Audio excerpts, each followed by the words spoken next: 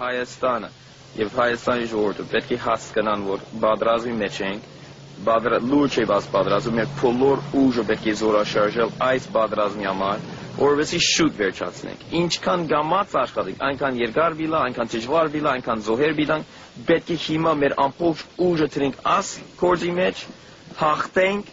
ու վերջ։ Խաղաղություն բիլա միայն մեր հաղթանակով անկարելի է խաղաղություն տեսնել առանց մեր հաղթանակի։ Իրավունք չունենք ցաղոելու չեն կնար ծաղոյալ բերի ընեք։ 89 թվականին ազատ արձակվեցավ Փանդեն հունվարին։ Այդ ընթացքին էր որ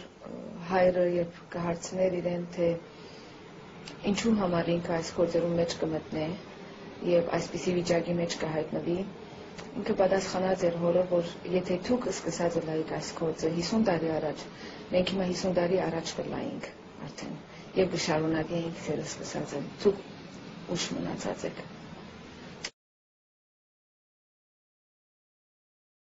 Լավանը չկներ։